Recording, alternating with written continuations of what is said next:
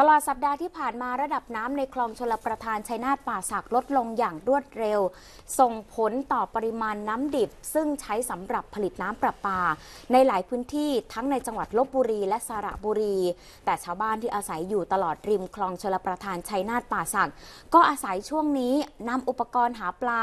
ทั้งแหและตาข่ายไปล้อมจับ หวานแหหาปลากันตลอดแนวคลองอย่างภาพที่เห็นนี้นะคะ ก่อนที่จะนำปลาที่หาได้ขึ้นมาวางางขายกันริมคลองให้กับประชาชนที่สัญจรผ่านไปมา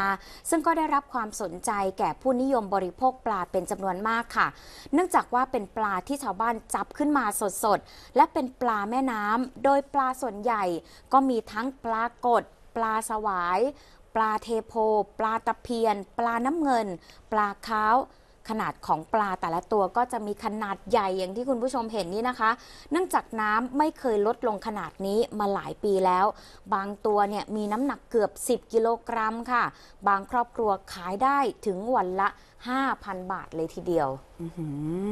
และจากสถานการณ์ภัยแล้งในพื้นที่จังหวัดลบบุรีที่ได้ทวีความรุนแรงมากขึ้นนะคะ จนทำให้น้ำในคลองชัยนาทป่าสักมีระดับน้ำลดลงอย่างรวดเร็วค่ะ ระดับน้ำภายในคลองโดยเฉลี่ยอยู่ที่ 2 เมตร 50 เซนติเมตรค่ะ ก็ส่งผลกระทบต่อการผลิตน้ำประปาไม่สามารถส่งให้กับหลายพื้นที่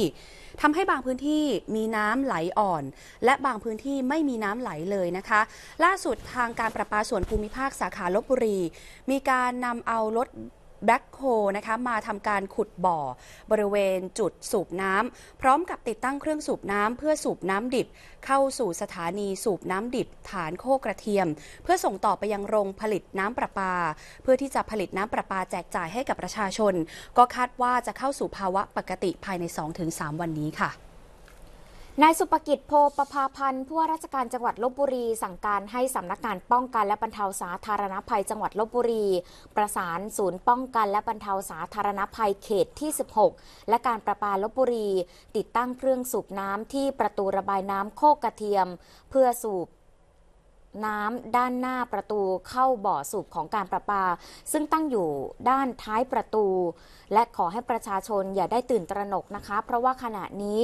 ทางราชการกำลังเร่งแก้ไขปัญหาการขาดแคลนน้ำอุปโภคบริโภคอย่างเร่งด่วน และขอให้ประชาชนใช้น้ำอย่างประหยัด โดยเฉพาะเกษตรกรค่ะช่วงนี้ขอให้งดปลูกข้าวนาปรัง ในช่วงฤดูแล้งนี้ด้วยนะคะ ก็ต้องช่วยกันประหยัดน้ำนะคะช่วงนี้ค่ะ